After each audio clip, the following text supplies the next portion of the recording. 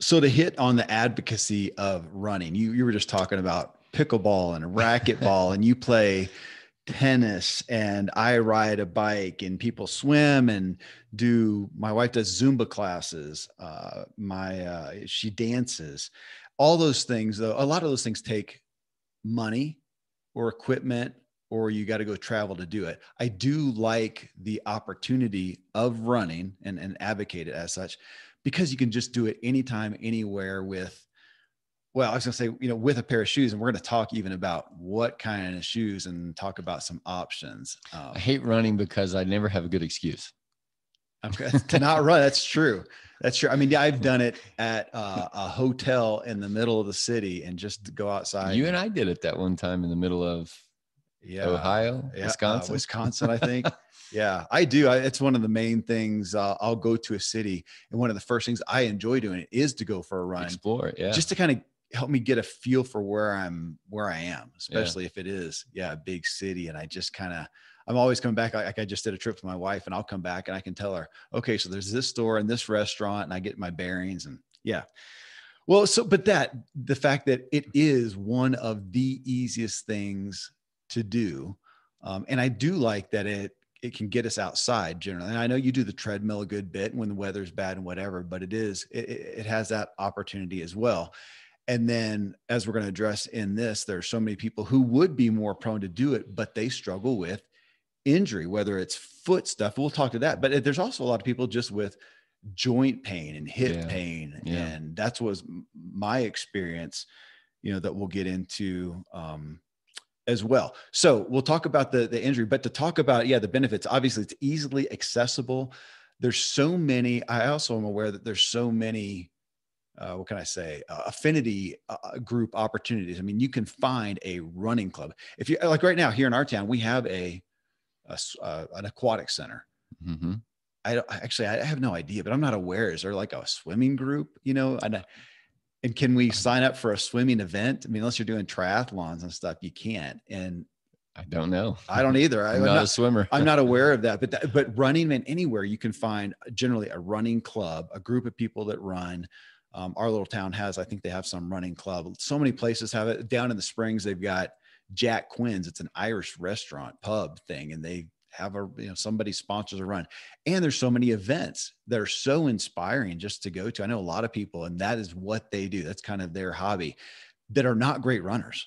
I mean they're yeah. slow runners. They're not even super fit looking but it's a healthy activity. They get out they go to the event. The events are often just so inspiring just fun just being people. with those people yeah. Yeah. And you got the people that are going for you know the finish line a lot of people going for a pr and some people walking with a stroller. Yeah uh, so again, it, it, just it it bodes well uh, for that for getting with groups. You can get accountability then with those groups. Like I know the Jack Quinns, they go at six o'clock Tuesday nights all the time, and it's just it's it's an opportunity that you don't always have with other Types exercise sporting sports. Yeah.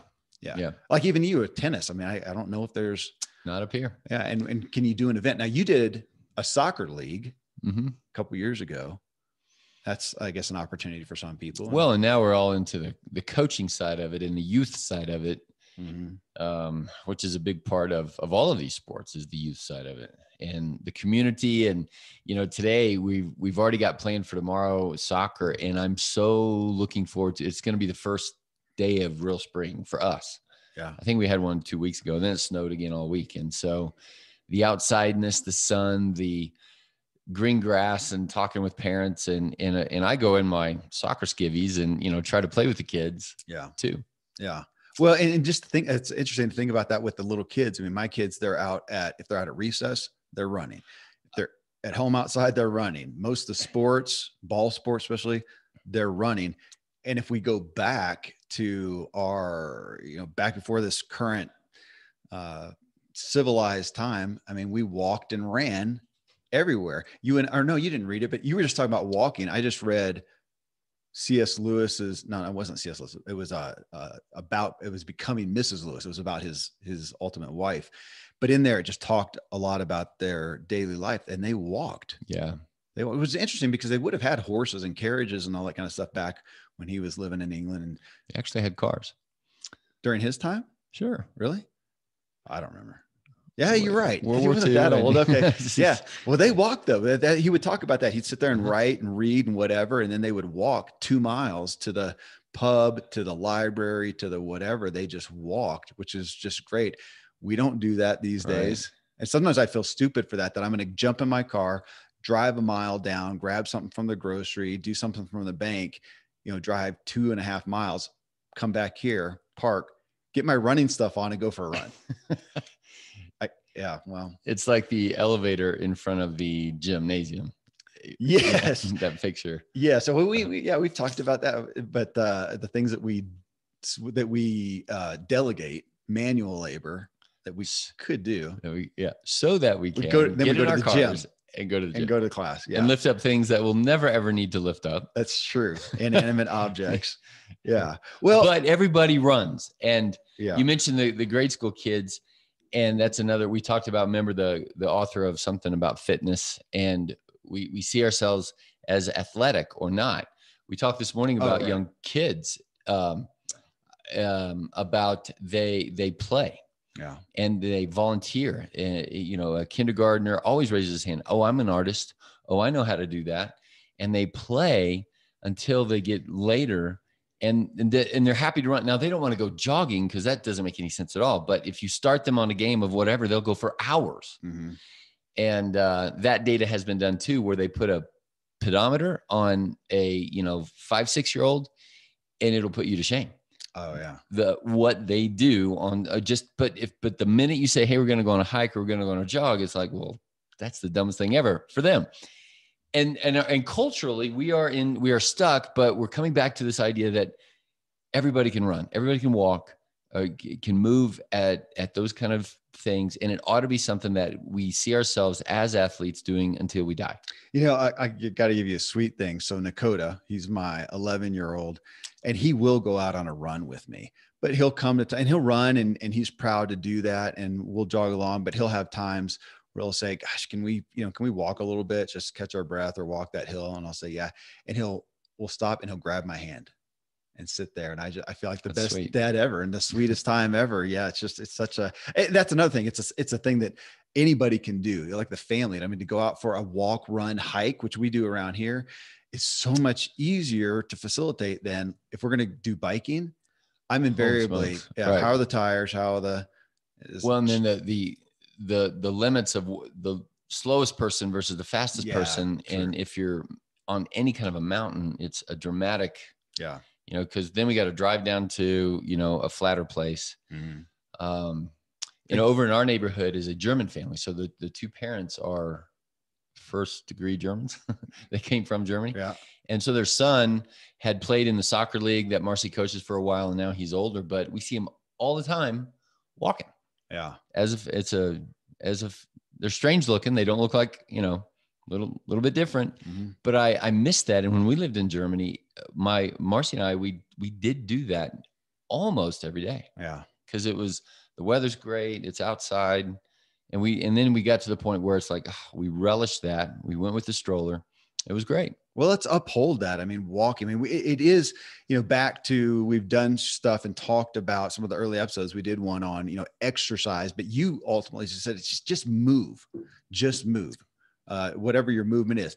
But this one is, it's good for cardio. It, you know, it works out. It's not a whole full body workout. Now you can sit there and, you know, pump your arms. And I, I saw a lady the other day running, holding weights in her hands. Yeah and, and you could do some things to be more mobile and i would advocate for that as opposed to because you can shuffle along and not move a whole lot. But even walking you know and brisk walking and you know include some stairs and some hills.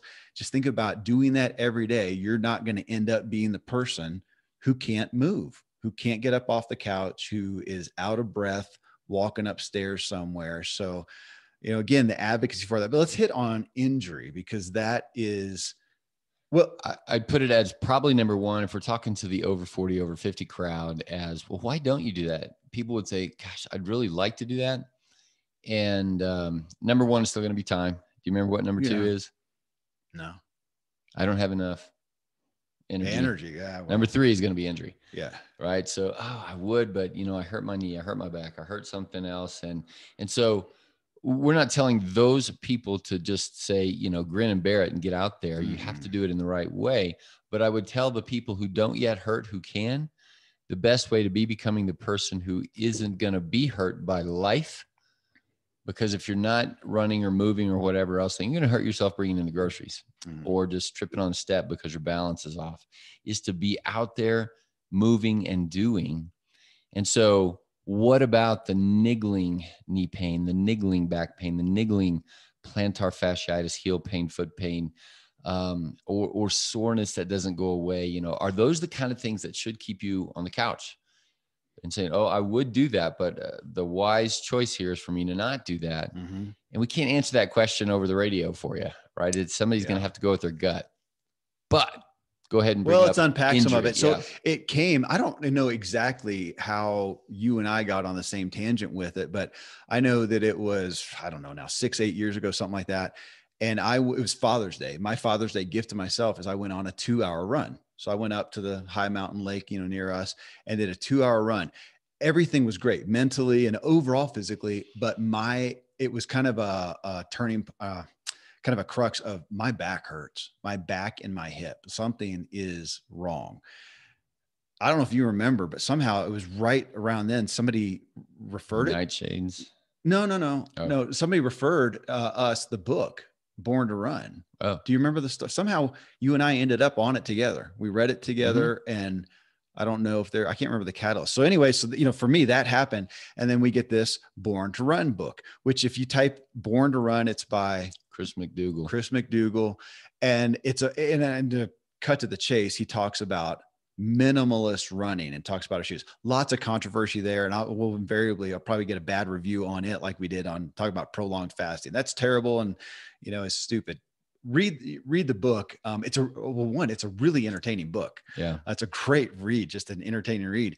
But then it does talk about this minimalist running. And this guy, so McDougall was a journalist. I mean, I think he's a runner and an athlete, but he's a journalist. And his story was he went down to Mexico, like in some native area, Just to cover the story of these runners. these runners. And what he ultimately came back with is why do we have all these, even elite runners? Uh, who you know in America especially, and they get to 50, 60 and they don't run anymore because they're injured. He goes down here and witnesses these little kind of natives that run more, run 90-year-old and run forever. Yeah, 90 year old guys in sandals made out of, t- uh, of Tires. tires. and they're just running and having fun, injury free. And he's just going, why? It's kind of like the French paradox that we talk about. You know, the Fr- French eat Yeah. late, eat high fat foods, eat all this stuff that we say don't do, and they're healthier than we are. Yeah. So it's kind of this paradox. So he goes down, and that's where the story is, is and looking at it. But he does cite some um, some history on you know shoes that we began well think back again when when did we first start running we weren't wearing shoes we were barefoot uh and i that was during the time i know that was another thing that was during the time when we had the elite runners ethiopia your house, guys yeah. at my house and they were telling us stories of they never had shoes until high school Yeah. and that they just run all day. They'd run two miles to school, run two miles home to eat because they didn't food wasn't provided, run two miles back, and then after school run two miles home. And I said, "Did you guys have like recess and playtime?" Oh yeah. What'd you guys do? I ran, play soccer, run around. So they're running constantly in those shoes. Well, now they're elite runners sponsored by Nike or whatever, but their form is really different, much more forefront. And so that's what this guy, if you remember, do you remember the he talked about was it Harvard or Stanford runners? Do you remember that? No, it's it's Oregon and Oh. Nike. Yeah, yeah, it's Oregon and Nike and and and the elite runners and and Nike came around and in Mhm. the, the big and this is in the 60s 70s when jogging started to become popular and uh and so now it's it's okay how do we enhance human performance here can we put a shoe on somebody's foot and help them to run faster and and the thought then back then was w- lengthen your stride, heel strike, get more efficient. And in order to do that, you got to put a shoe on because it hurts. And so they made those shoes. And then the story goes, you know, so the Nike rep comes and shows up at the university and the team is training and all his shoes are in a pile. And the Mhm. coach says uh, something effective, you know, I'm so sorry. They just run better without them, but we'll have them wear them during the race, you know, so that people see them. And it's some of the talks about why did we as the shoes got fancier and higher tech we seem to have a correlation of more injuries. And, and that's, that's what the coach had said. It was thank you for the new shoes but if they run in their old ones their form is better yeah. and they don't have as much injury. And of course like you mentioned on the front side this is controversial. It, it's not true of everybody all the time. Um, it well what got me though is is thinking about not to make this a spiritual thing or whatever, but whatever you, whatever you believe to go back and when did we get to the point of going, you know what, you know, God did a pretty good job. He really screwed our feet up. We got to, right. We're going to have that. to fix this. Yeah. We're going to have to fix that. Our feet. We need really good support. Yeah. Yeah. Cause he didn't do, and uh, you know, in the book, they talk about the, it's the antithesis of an arch would be to support it, support it from underneath. Yeah. It's supposed to be strong. So there, you know, if you, I just want people to think about that, make your own conjecture, read the book or go, you know, go read about minimalist running, barefoot running. You'll see, lo- again, lots of controversy. You'll see stuff that, oh, we did a study and everybody who did it got injured. Uh, I think you have to do it right. You have to do it well. Well, I just want people to think about it though. It'd be like saying right now, if we took 10 people off the street and said, okay, everybody start doing burpees, 10 burpees every hour. I did that yesterday. I set my thing and just 10 burpees 10 burpees. Yeah. And we did that. Most of them would get injured. Why? Because they don't do burpees. Ready for it. We'd yeah. have shoulder injuries and aches and pains. So uh, if you go from a lifetime as me, so I was a bad heel striker. Going back to my father's day, I was a bad heel striker. So I got big, and I was in custom orthotics. So I had wow. carbon fiber orthotics supporting my arch, all these mm-hmm. things that in the book they're going well, again destroying your or, or I'm or I mm-hmm. I never asked myself, huh? God screwed my feet up, uh, and so well yeah. So I, I was doing doing that, and to go back and go why why should we not be able to run? Like why were these Ethiopian guys? able to run barefoot? What did they do? Did god make their feet different and just bless them? And so where did we get that? So it's a good question to ask first off. Why do we think we have to have all the support? Do you remember the one olympic athlete the woman? Zola budd. yes. Do you remember that? Yeah. And i was dumbstruck oh it's like she, she's the barefoot. dumbest person ever yes yeah like oh this poor person can she not afford she i will give her or i just thought she's just being some kind of a show off yeah I remember the the arrogance of our thought process there. Mm-hmm. My dad was a uh, summer student missionary in Africa, and this is a same thing, but just the the the thought process. And he was in his twenties, and he thought, "Oh, these poor natives have to have a bowel movement three times a day." Oh. Instead, I only go every other day. This giant log, like a normal human American, advanced normal, normal American, yeah and the construct there, he really thought that they, oh, the poor people have to go all because they eat this horrible stuff called fiber, vegetables, real food. Yeah. And, well, and, and we're saying the same thing about, oh, these poor sh- children can't even put shoes on their feet.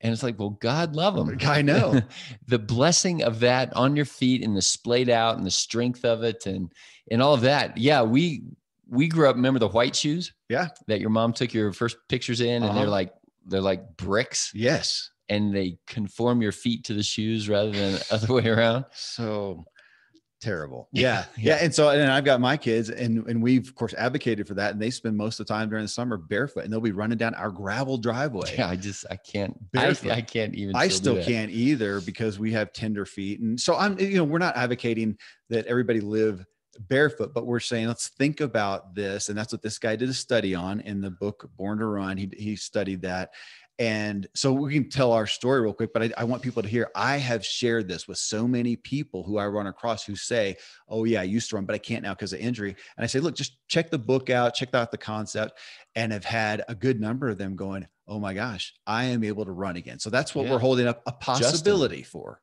Luke Savage, Justin. Oh, that was back in when in our days and when i first met him and he was talking about knee pain and all of that and he became a hundred miler well so oh, well so i do want people to think about think about if you have this big thick cushion on the back of your heel it enables you to hit the ground heel strike without pain. Now, if you're the Ethiopian guy out there and they're running on rocks and whatever, you can't do that. So, what does it do? It forces them to run with more of a forefront landing where you do have the pad yeah. on your foot. But if you think about the dynamics, you literally are now leaning forward more and that's what the argument is or the sharing in the book is that it changes your form and you're now not hitting so hard structurally and as it transmits through to everything yeah and hips hips and, and everything yeah. and now you're doing it correctly and so now here i you know after we transitioned and we both did it poorly but after we transitioned then i found myself you know two years later running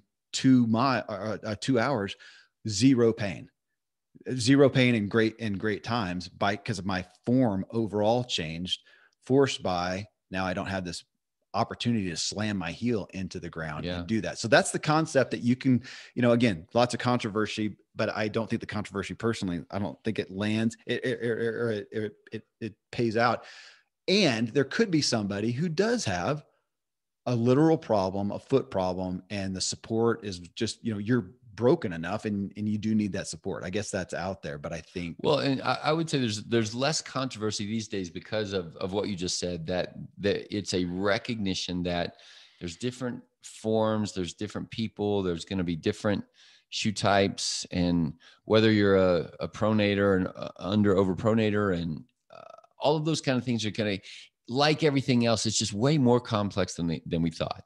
Mhm. But if you're like what we want to do to help people out there think, the likelihood of most humans is that you're going to be better off if you can be minimal, if you can lean forward, if you're going to be a forefoot striker.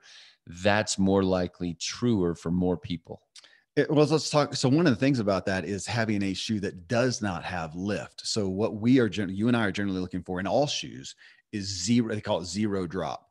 So Right. forget about the, even the cushion at this point. It's just saying, why does it make sense that we need to elevate the Have back? heel. Yeah, have a heel. Yeah. Yeah. So I'm in. What am I wearing today? I'm wearing some Lems shoes. L E. And I'm wearing Altra. and you're wearing Altra. So I have very little cushion, or they're very, you know, no drop.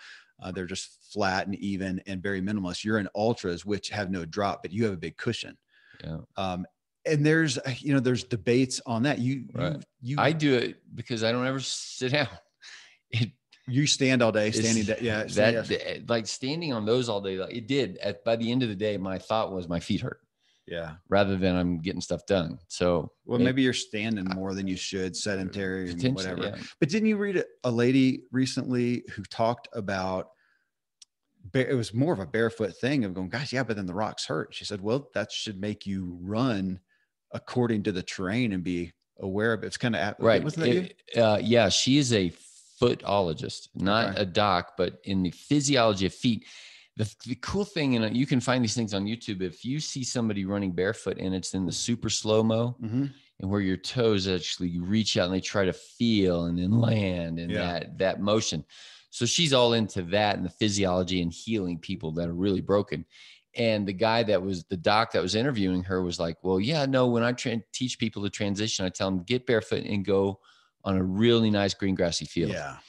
and she's like uh, no because you want to teach your feet to protect themselves remember in the book how that it says watch a two-year-old go run through the rocks and Kind of scamper. scamper yeah. Yeah.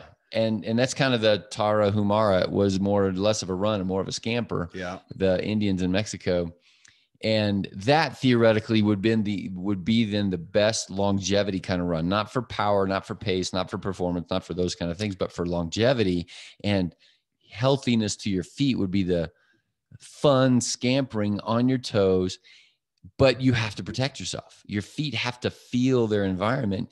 And if you're all relaxed on the beach or on the on the grass then when you go onto the asphalt or onto the something else that you you've you've not trained your foot to be uh, aware so well, and yeah, and again, there's people on the extreme side, and I saw a guy. He was training with Rich Roll, uh, Yeah. Rich Roll, famous guy Uh-huh. now, and this dude is total barefoot, and it showed his feet. And my gosh, they were like pads. I mean, he had built up. He could run on anything.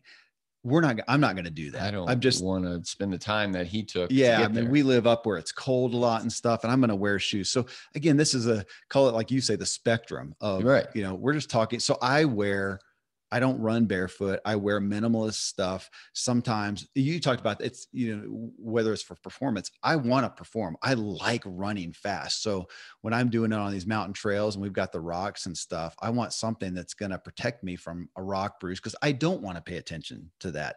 Maybe, you know, that lady would say, I, sh- for overall best health of my feet, I should, but eh, eh, we're trying to make everybody have an incremental gain uh, here right. and be able to just go out and move. Right. Be becoming a little bit better. If you want to run a marathon barefoot, you can do that probably. Yeah. Um, but if you just want to be able to run, you pick how far you want to go. But I, I am going to say we're advocating or uh, that you would question and go read if you want to to figure out that of uh, uh, zero drop shoes. You know, let your foot be flat on the ground. Uh, right. Heels don't really make sense. It's, I don't know. Let it stretch out your Achilles. Otherwise, it, you, when you wear a heel, you're shortening the angle from calf all the way around to forefoot. Yeah, you shorten that angle. So all of your your Achilles, the the muscle, the soleus, and then on on the arch, you're also shortening it. So, and if you walk around in heels eight, nine, ten hours a day and then eight hours at night where your foot is is relaxed also shortens so the achilles tightness and the foot tightness just gets shorter and tighter over time increasing the chance of injury. Let's also say though as we encourage people to go uh, lean into minimalist lean into zero drop do it slowly. Um, well and that's just, our we both read the book. We thought oh this is the coolest ever. I got the literal little sandals like just barely anything over your feet and then pretty quick, we both got injured. Yeah, yeah. Uh, with was it was it plantar fasciitis? Mine, mine was. Mine was. What was the other one? The other. What's the other injury? Foot common foot injury called? I can't remember. I don't know. We both injured our feet and then couldn't run at all. Right. then you, yeah. Six months, and then we went into it slowly, and so wisely. Wisely, yeah, yeah. Because again, we can't. I mean, I was. I we lived. I lived. I had been living for years in heels custom orthotics, supporting my arch, whatever, yeah. and then sort of transition. So it took me a long time. It took my wife hardly at all. But what we realized is she just naturally, oh, because she was a dancer. She She's a yeah. lifetime dancer. So she was used to being on her forefront. I mean, ballet and stuff. She also uh, probably has high arches. Oh, yeah. Super high arches. No shoe that supports her arch. Yeah. Like there's no shoes like my oh, wife too got, with these really yeah. high arches. Well, yeah. and and so to that, so when we start, you and I started, I measured my foot and I can't remember the timeline. It's been so long now. A year later, whatever, my short, my foot had gotten a little shorter because my heel had grown in strength and tightened up. I mean, it wasn't huge. I don't even know if it was half a half a shoe size, but it had. And then I've spent you know years and years at home barefoot. That was part of my training. It was at home, be barefoot, and even try to think about not clunking my feet. We have concrete floors downstairs, so that's great. And to think about being more, it changed my form of walking, even. Mm-hmm. Um, so uh, again, we're talking about a, a, retraining so that we can be injury free and be injury free when you're 60, 70, 80, 90 doing what you need to do. And, and we are talking about running form, and you can go look a lot about running form. And even that, I'll see people who are out running and that tendency to shuffle, to have your shoulder, you know, to be hunched over and stuff. And you can look at good, look at a good runner. They're also, I mean, you have great posture anyways, but I, I, tend to think about it more when I'm running to think kind of ch- chest out, shoulders back, and and chin up even. That I'm really have what? you thought about that as we've done the breath work? Yeah, I my I'm struggling with my posture. I've even oh I I can totally tell because I will in the winter and I I value reading a book on the treadmill, but trying to keep the mouth closed. And but I'm reading, so I'm looking down. Yeah, and to hold that up makes a dramatic difference in the efficiency of air transfer. Yeah, which is going to impact your running quality and and and all of that. I, I, I spent so much time biking too, and you're Which by proxy, uh, by, totally by and, definition. And yeah. I spent years and hundreds of thousands of miles as a pro cyclist doing that kind of stuff. So, you know, posture, thinking about that's another part. You know, we're talking, we keep talking about feet, but talk about, you know, you were talking about feet, the shoes, how your feet hit the the earth. Your, what would you say? Your your forward as opposed to backwards. Your stance. Your, stance. Okay uh-huh. And then your posture too just of your back. How are you holding yourself? All those things add into why we tend to get uh, injured. Eh, but, but also i mean anybody who hasn't been running who starts you just got to go slow. If you're overweight it's another i mean the the pressure on your pressure. knees and yeah. everything else. So there's so many factors. Again so we're talking about anybody who wants to do this. I mean if you don't want to you, know, you can go ride a bike. There's low impact. You can go swim. It, but a lot of people just aren't going to make the effort to do that. So here's Running's know, easy to do because there's the excuse level goes way down. Yeah. Or again, or even for a walk. Anybody can do that, even generally at night after dinner to just go for a walk, even if it's not brisk, but you know, the more you can do, um, the better. I, I did want to talk about some of the things with running uh, that I think help it as well, because we do tend to think of jogging. If you think about the American, you know, you say, Hey, do you run? It's a kind of a basic jog at the same speed. And if anything, you'll hear people go, Yeah, I'm just trying to run two miles without stopping, you know, mm-hmm. without walking or whatever. And I have seen, I mean, it's great that they're doing it, but I cringe a little bit when I see the older person out there who's been running forever and they're just shuffling and they're hardly moving. Mm-hmm. They're so stiff, they're hunched over, they're shuffling along. It's again, it's great compared to their peer who's in a wheelchair at the nursing home drooling.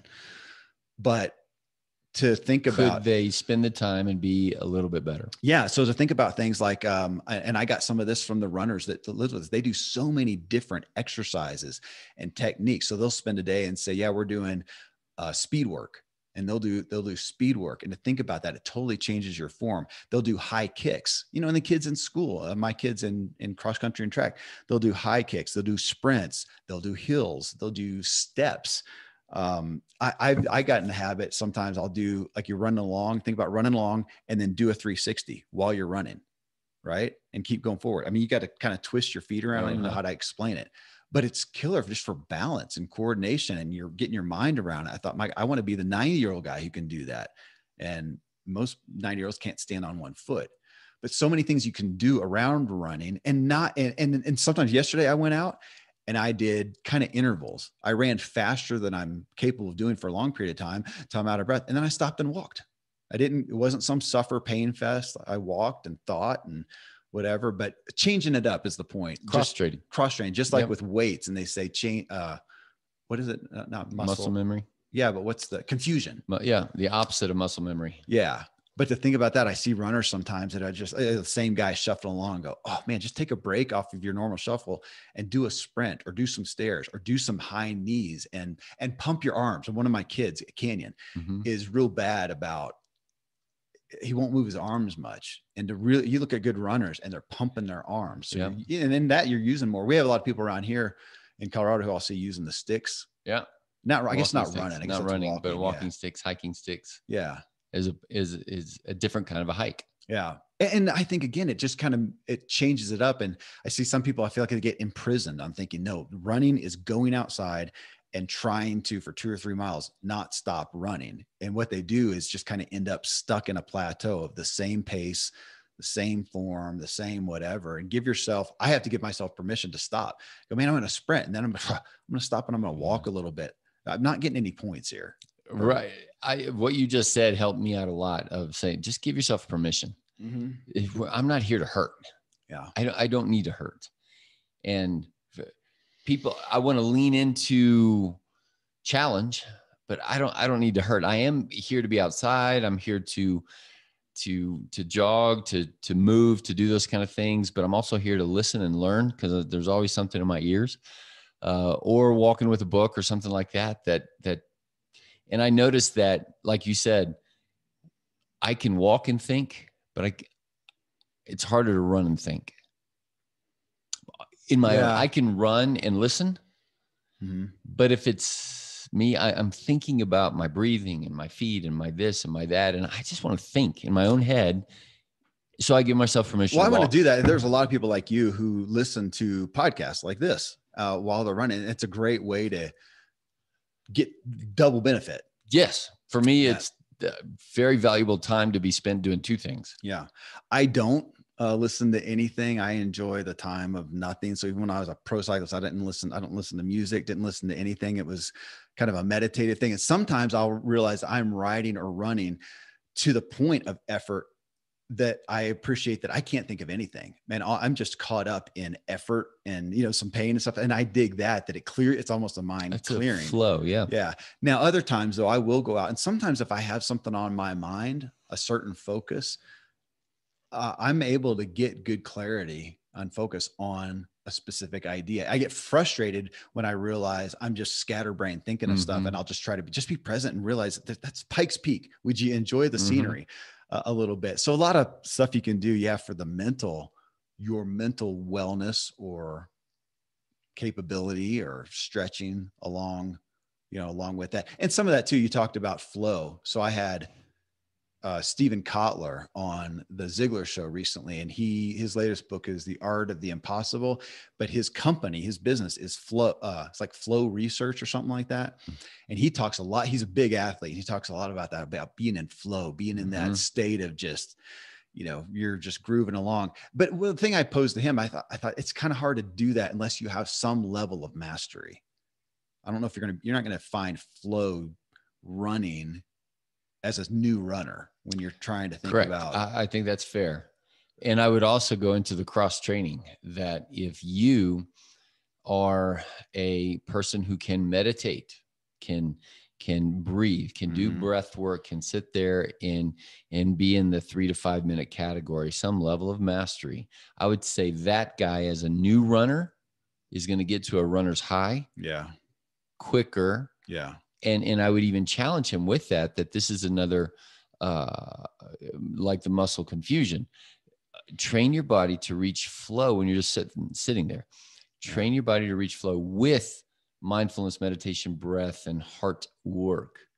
And then also there's the the, the athletic performance side of that that most athletes will say i'm in the zone mm-hmm. I, I, I can't miss the basket uh, it, it all just feels right it's working for me that's the flow state which i've experienced in running and cycling that's it i've never experienced flow with tennis or uh, I did do swimming for a season one time and finally got to that point where I could just cruise along, but it took a long time. But to that, I want to hear, you know, for people to say, I mean, if you, this is one of those things you, we had a friend, you know, who said, I hate running. If you hate running, then do something else. Right. This is something that said, uh, I had it was a great experience recently. I think I've talked about it, but my son Canyon, who last year did cross country for the first, I mean, he had run and doing some races as a kid, but then had a, a bit of a gap. We got him in cross country. He said, "I just I, I hate it. I don't like running." But we said you got to do something, and so he chose that because his brother was doing it. Did his first race and did like 37 minutes, which for a high school kid who's in pretty good shape, I said, dude, what, come on, were you crawling? What, what happened? We, we couldn't go because of COVID. So we, we weren't there. I didn't see it. And he said, I just had no will. I just don't like it. I, whatever. But you know, he kind of kept at it next race and they were gapped out because they, all the kids couldn't do the same races every week because of, again, COVID stuff. So it was a couple weeks later, whatever he does something like a 27 which is still for a high school kid, not real fast, but that's a huge improvement. Yeah then he just and I heard from his his other brother that he was kind of being more social and talking about it. Whatever. Last race, he almost went under 24, which that's a pretty respectable time. And it's not you know 15 minute world record pace or anything like that, but pretty good. And he but he also said, I just I'm I get it. I get it, Dad. I mm-hmm. get how you can kind of enjoy it. That has been my experience with most people. If you will stick with it mm-hmm. enough, and also listen to this, have permission. You don't have to kill yourself every day. mm-hmm. And and try to enjoy it do some things that are fun along with it that most people if they continue to do it will find some joy or at least less misery mm-hmm. is that mm-hmm. fair uh, yeah.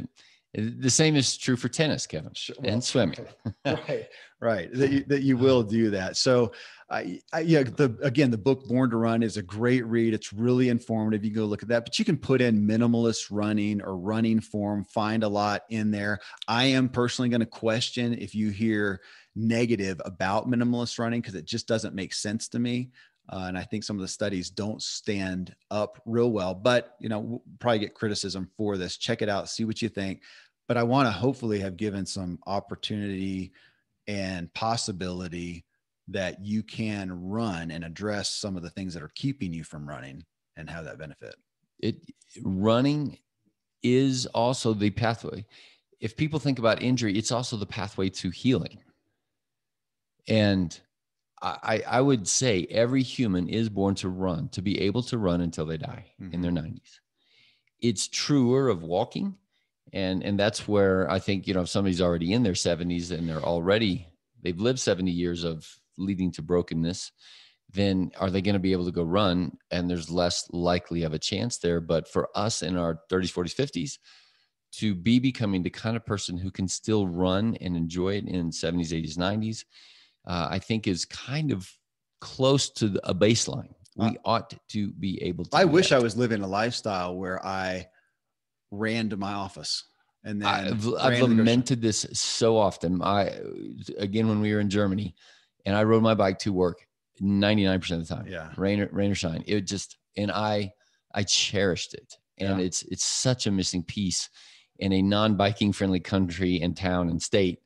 Um, oh, I lived in Holland and everybody rode it was, everywhere. Yeah. Old and that ladies, is a part of their culture and why they get much more credit than our culture for being happy and well adjusted and yeah. all of those things. Yeah. But uh, again, it's not, and it's not that uh, my life doesn't work that way. I mean, anywhere I'm going, I'm usually getting a kid. You're getting a pile right. of groceries. I, you're getting stuff. It. So I, we didn't have any kids at the time. Thus, like this, we're going to finish this thing, and you're going to go I'm out. Go for, for I'll run. I'm going to go for a ride. But uh, well, hey, hopefully this was a help to some of you who are interested in running. Yeah.